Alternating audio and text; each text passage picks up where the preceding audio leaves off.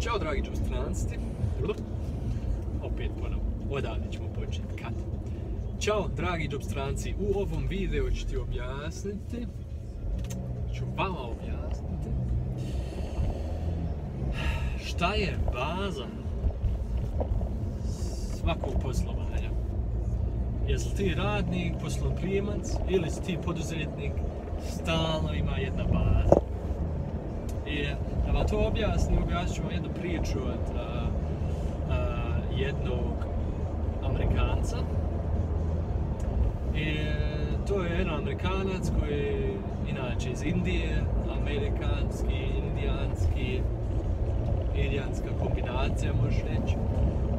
I on ti je bio kod onih budistata. I on je tamo bio dva, tri mjeseca i od nja je učio. I oni su mu jednog dana rekli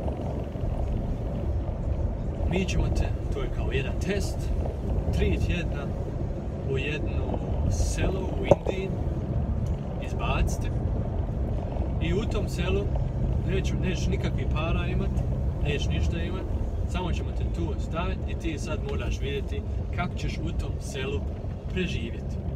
To je jedno siromašno selo, on nije nikoga znao, nema para i sad je on tu.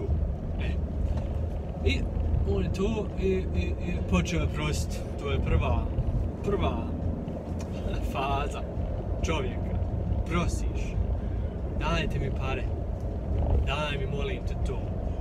I on je vidio poslije tjedan, dva, da s tom strategijom nikomu ne daje pare, nema nekakvu prednost on sjedi na cesti, ljudi isto nemaju puno para, šta će onda njemu još davati? I on je vidio poslije tjedan, malo je nešto mogu da dobije, ali nije s time, da bi tako dalje dva, tri tjedna radio, ne bi mogao preživjeti. I sada šta je on sebe zamislio? Pitao se kako ja mogu doći do para i onda je počeo pitati ljude tamo oko sebe kako ti ja mogu pomoći? On je ljudima odčuo i rekao, kako pitao ja, kako ja tebi mogu pomoći? I ovaj jedan rekao, treba pomoć tamo vrtu, malo nešto mora se uraditi, onaj drugi treba pomoć kod ne znam ti šta, onaj drugi treba pomoć, treba neko pomoć stvari nositi i tako dalje. Znači, on je počeo poslije tjedan, tjedan i pol otići ljudima i reći kako ja tebi mogu pomoći i za njegovu pomoć su oni njemu dali onda pare, malo para i s time je mogu onda bez problema preživjeti 3-4 tjedna.